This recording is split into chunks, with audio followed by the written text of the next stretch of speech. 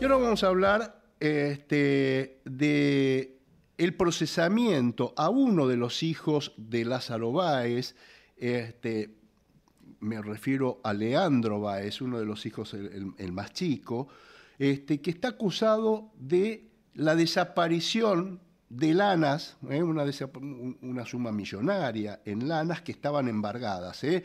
Este, hay un faltante de 250 mil kilos de lana de oveja y que estaban embargadas, ¿eh? pertenecían a la empresa Austral Agros, que estaba evaluada en aproximadamente un millón y medio de dólares. Esta decisión eh, que procesaron a Leandro Báez la adoptó la jueza federal María Eugenia Capuchetti. Vamos a hablar justamente con el abogado defensor de Leandro Báez. Vamos a hablar con el doctor Roberto Herreras, que siempre que lo convocamos nos atiende firme, ¿eh? a pesar de ser domingo.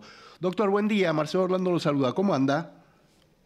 ¿Qué tal? Buen día, ¿cómo está? Bien, gracias por atendernos como siempre, doctor. Y, este, bueno, a ver, administración infiel agravada, lo embargaron en 500 eh, millones de pesos. Yo siempre digo, la justicia eh, hay que cometer, hay que defraudar este, en grande, porque cuando uno defrauda en grande, este, los embargos son este, mínimos, ¿no? Porque si, si, si se quedó con un millón y medio de dólares y lo embargan por 500 mil, hizo negocio. Sí, pero no, no fue el caso de Leandro Báez. Lo que hizo Leandro es, eh, en realidad, ocultar la lana Ajá. y no y no justamente de la justicia. Ajá. ¿Cómo es eso? Leandro Báez, claro, eh, si se llega a cortar porque estoy justo me llamaron que salía a comprar. Eh, cuestión del auto, pero te cuento cómo viene ahí, cómo es el, eh, el devenir de, de, de esa investigación y, lo que declaró Leandro Báez en su momento ante la doctora Capuchetti. La realidad es que él fue primero amenazado por la ex abogada de Lázaro Báez, la doctora Gazaro. Ajá. Que era la pareja de él, ¿no? Esa era la pareja de él. No, no, no sé, no, no me consta que haya sido la pareja de, ah. Báez. Ajá. Eh, pero sí lo que lo que pasó que ella quería cobrar honorarios y le dijo a Leandro que tenía que vender la lana. Y él dijo, no, porque la, está la disposición de la justicia. Claro. Y yo no puedo vender esa lana. Puedo la vender, si no yo te la voy a, yo, la, yo me encargo y la saco igual. Tenía poder por el señor Lázaro Báez para administrar los bienes, correr esa lana del lugar hacia otra, hacia otra hacienda, ¿bien? Ajá. Cuando Leandro Báez es denunciado, él manifiesta dónde está esa lana y, la, y, le dice, está, en vez de estar en tal estancia, está en otra. Pero está. Ajá. se encontró el faltante, hay una diferencia que no es por, el, por lo que estaba físicamente, sino como es un tema contable en, este tipo de, digamos, de, es como un vericueto, porque la realidad es que también se contaba con la cantidad de lana que estaba en el lomo del animal todavía, para llegar a esos 250 mil kilos. Y estaba ahí pasa que, bueno, eh, se tarda mucho también en, esta investigación, viene hace, hace muchos años, hace años, no de ahora. Ajá. Eh, y, y, y, entonces, ¿por qué la procesión? Y, si, y si explicó eso y, se, y lo pudo corroborar, eh, ¿por qué lo procesaron? Sí, porque hay un, hay un tema contable que no, no, no coincide y entendemos que viene por ese lado la, el faltante, de lo que la justicia entiende de que sería el faltante. Ahora, Leandro es igual, en, en, el ofrecimiento de prueba que nosotros hicimos en su momento, él pidió un caleo con la autora Gazaro para que vean que fue ella la que quería sacarle esa lana.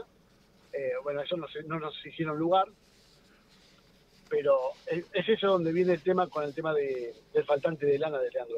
Eh, doctor, para, pero después tenés un problema con el tema de la administradora, de la interventora, digamos, que la interventora tiene más de 15 denuncias realizadas en contra de que faltan 200 animales en un lugar, 150 animales en otro, le faltan maquinaria, le falta de todo, y nadie dice absolutamente nada de eso. Y las, las denuncias están realizadas. Cambian animales nuevos por animales viejos, y había una interventora que era responsable, y de eso también no, Ajá. Doctor, para, para, que lo entienda bien, ¿esta es una, una, un, un, desmembramiento, por decirlo así, de la causa ruta del dinero K?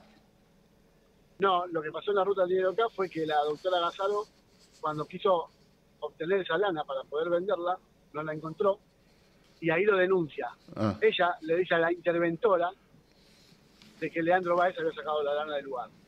La, interventora, si no, jamás se hubiese enterado, ¿eh? porque la interventora, al no ir, o al ir muy pocas veces eh, a Río Gallego, eh, no, no, hubiese, no, se hubiese enterado que faltaba esa lana. Claro, claro. Eh, doctor. cuando hacen ahí, el, el, doctor, el fiscal Córdoba, lo que hace es pedir la detención de Leandro Baez, el tribunal no le hace lugar, y lo que sí hacen es, extraer testimonio de esa denuncia y realizar una denuncia nueva, que no tenía nada que ver con la ruta del dinero acá. ¿Está bien? Claro. Que debería ser, es lo que se tiene que haber hecho y es lo que se hizo en realidad. Eh, doctor, este, lo cambio de tema, de paso lo aprovecho, porque este, sé que todos los lunes, nosotros lo, hemos comentado aquí en el programa, se está realizando este juicio eh, por, el, por la compra de un campo en Uruguay de 152 hectáreas, pagaron 14 millones de dólares, estamos hablando también de dos importantes este, em, propiedades, una en, Punta del Este, creo, o en Maldonado, y el otro en pleno Libertador y Ruggeri en esta capital. Estamos hablando de este, mucho dinero y, este, y todos los lunes se realiza este, una, una, audiencia, ya estamos en la etapa final, en donde están sentados en el banquillo de los acusados este, Lázaro Báez, Jorge Chueco, que era el, abogado de los Kirchner, el contador Daniel Pérez Gadín, Leonardo Fariña, este, bueno, eh, varios, varios empresarios, financistas, y digo, les toca mañana, porque ya la, la UIF ya acusó, la AFIP ya acusó, el fiscal Abel Córdoba ya acusó la semana pasada y mañana eh, les toca a ustedes. No, porque hay una audiencia, eh, no, no se va a realizar la audiencia mañana, se realiza los próximos lunes, que sí, vamos a empezar nosotros con...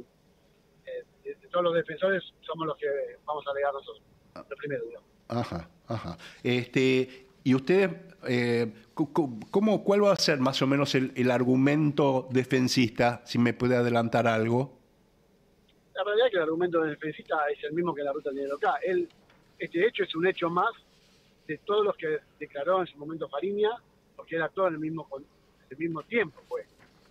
Lo que pasó acá es que esto quedó como un juicio aparte, porque Uruguay, al tardar en mandar la documentación, de de este campo, es donde queda como afuera del juicio de la ruta del dinero y se hace un segundo juicio.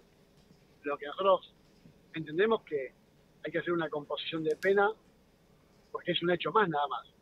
Y no realizar o no pedir una pena como pidió el, doctor Córdoba por Fariña, eh, una composición de pena de seis años, que pidió eh, casi lo mismo que había pedido en la ruta del dinero con todos los hechos distintos que ya fueron juzgados en, la ruta de local y acá por un solo hecho que es igual pide la misma cantidad de años. Me parece que el, pedido es eh, excesivo. Ajá. Ahora, doctor, a mí me llama mucho la atención, ya se lo he preguntado en otra oportunidad, el tema de las penas este, que le han impuesto a Leonardo Fariña, sobre todo teniendo en cuenta que él fue el arrepentido que logró profundizar dar datos para que se profundicen todas estas causas importantísimas de corrupción. No lo han tenido nada en cuenta eso. Lo tienen en cuenta, pero ser una proporción distinta, o, al menos así lo entendemos nosotros, de lo que dice realmente el código. el código dice que la pena para la ley del arrepentido, y es que esto se puede comprobar, y es lo que el tribunal así lo consideró, eh, debería ser como si hubiese sido la pena en grado de tentativa y no un hecho consumado. Sin embargo, bajan aritméticamente la, pena, pero siempre se pide, eh, digamos, mucho más de lo que sería el grado de tentativa de un hecho de lavado. Claro, claro. Doctor Roberto Herrera, gracias como siempre, buen domingo y hasta cualquier momento. Que tenga buen domingo también ustedes. Hasta luego.